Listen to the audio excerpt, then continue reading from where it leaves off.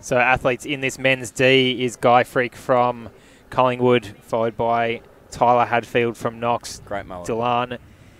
Ego DeWatt from Keilor St Bernard's. Andrew McIntosh from Collingwood. Samuel Lowe from Collingwood.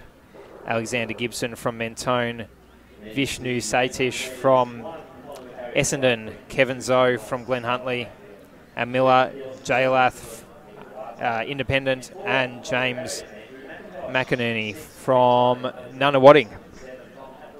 Oh, sorry, that's Athletics Waverley. On your marks. It's one pair of super shoes. I'm betting the house on lane two. Look at that mullet. and his speed That if is I've from Tyler. Hadfield. Man with the mullet in lane two from Knox Athletics, and he is charging towards the front, as is Alexander Gibson from Mentone, clubmate of pacemaker Charlie Rogers, who is going through in 61 seconds for his first lap, supposedly. Let's see how he goes.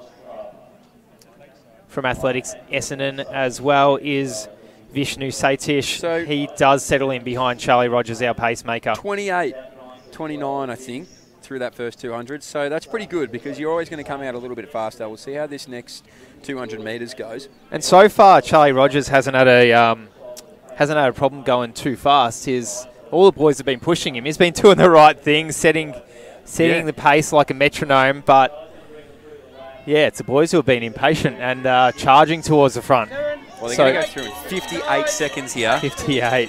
and that's going to be Satish of Athletics Essendon, and right behind him there is also Alexander Gibson. So he's on the outside. Hadfield, the mullet.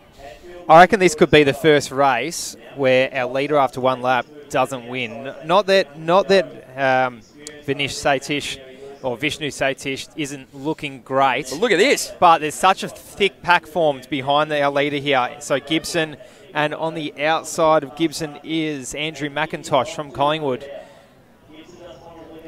So Ta- Satish as well. Ego DeWatt is right there, the athlete from Keilor St Bernard's. It is a race of four or five at the moment.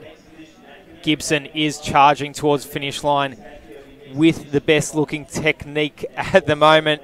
And he, with 100 metres to go, he looks the goods. Satish coming for a strong finish, as is McIntosh, but Gibson may be too good with about 30 minutes to go. Will he head under two minutes? He'll be right on there 201, 202, 203 for the first few athletes across the line with a few PBs.